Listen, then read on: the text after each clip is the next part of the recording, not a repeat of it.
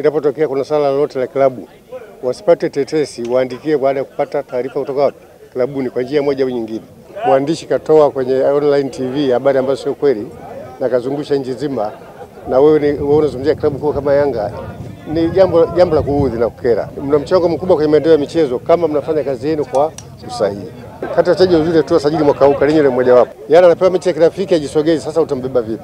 Bahati mbaya akapata injury, lazima kubaliana nayo. Safari hii lazima tuchukue ubingwa ligi kuu na pamoja na FA. Kwa hiyo wanajua yaani ni utani mkubwa. Kwa hiyo ni jambo ambalo tumesema waishi kama family. Kupenda Yanga ni moja, usipende tu bila kuigaramia.